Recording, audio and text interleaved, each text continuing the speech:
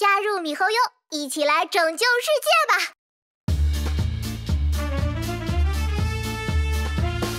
哎，姬子又来信了，让我看看他有没有带来可靠的情报。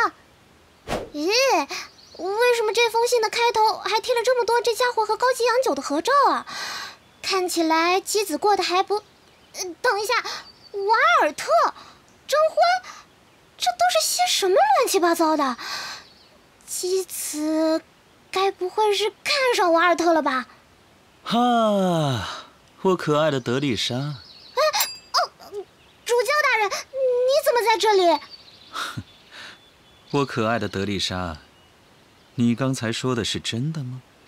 糟糕，不能让我偷看到姬子的信件，得赶紧藏起来。没，没有啊，我刚才什么都没说。你说要征婚，还有。看上了瓦尔特？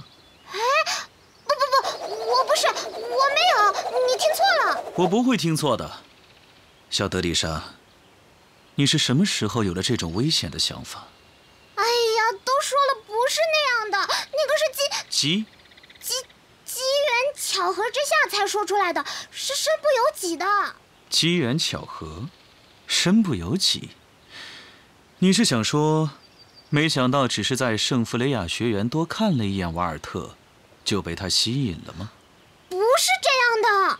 没想到，居然会变成这样。都说了不是。我辛辛苦苦将你从小养大，我对你的感情，难道你还不了解吗？嗯。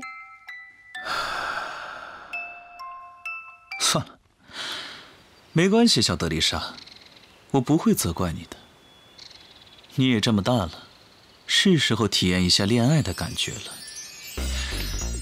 经历爱情可以使人成长，所以在感情问题上，我也不会干涉你。但是，唯独瓦尔特不行。我们是敌对阵营，先不说你嫁过去会不会被穿小鞋，他会不会喜欢你还是个问题。你看这样如何？我复制个自己的分身给你做个伴儿，你先培养一下感情。我才不要！哎，你看，你看，哼，小德丽莎，你已经开始对天命有逆反情绪了。哎，你倒是好好听我说话啊。我知道你要说什么。你们可能都觉得逆商的思想比较符合时代的潮流，觉得天命陈旧保守，但是你们要想想。逆商这些投机取巧的人，不过是些运气好点的暴发户罢了。天命数千年的历史所积累下来的财富与声誉，都是逆商无法比拟的。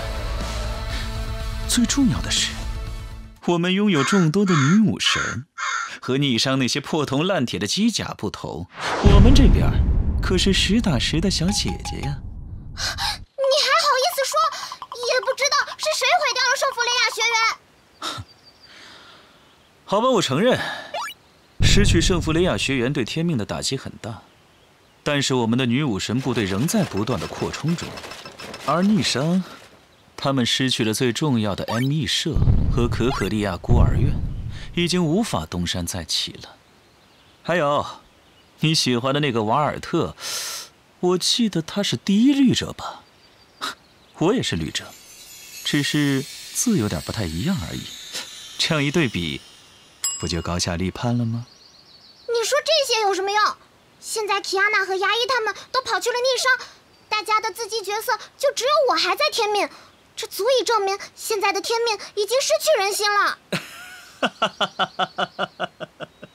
太天真了，提亚娜他们总有一天会回到天命，而且天命新一代的女武神已经踏上舞台了。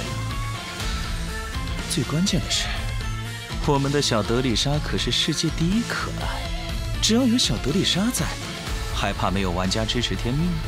你你你你你又在打什么主意？哎呀，小德丽莎的恋爱期，这可是一个绝佳的好机会啊！只要我发出征集令，比如加入天命就能和女武神小姐姐为伴，还有机会获得与德丽莎的相亲机会。成为我阿波卡利斯家的女婿之类的，那么我们就可以获得络绎不绝、人山人海的应征者。那样的话，天命的逐渐壮大就指日可待。啊！我受不了了！犹大的誓约展开！这小德丽莎，我只是开个玩笑而已。给我化作天际的星星消失吧！哎，别急。